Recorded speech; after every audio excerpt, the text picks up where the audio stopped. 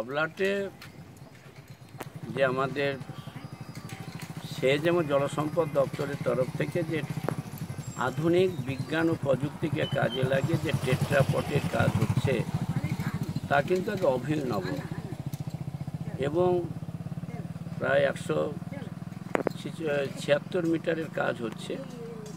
এবং ওটা আমরা দেখতে পাচ্ছি যে যখন মানে বে অফ বেঙ্গলের বড় বড় ঢেউ যখন পাড়ে এসে আছাড় মারত, এবং আছাড় মারলে দেখা যাচ্ছে সেই পাড়টা ভেঙে নদীর জল গ্রামের ভিতরে প্রবেশ করত।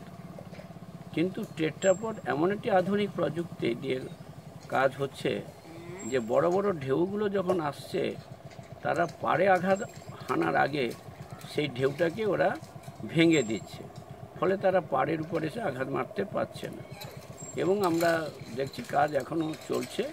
এবং তাতে দেখা যাচ্ছে যে বেশ কিছু জায়গায় ইতিমধ্যে পলি জমতে শুরু করেছে এবং এই টেট্রাপট কাজটা যদি সাকসেসফুল হয়, তাহলে ধবলাটের শিবপুরের যে বিস্তীর্ণ এলাকা রয়েছে, এটাকে কাজে লাগিয়ে আমাদের পশ্চিমবঙ্গ সরকারের সেচ এবং জলসম্পদ দপ্তর হ্যাঁ এই বিস্তীর্ণ এলাকার মানুষকে তারা রক্ষা করতে পারবে।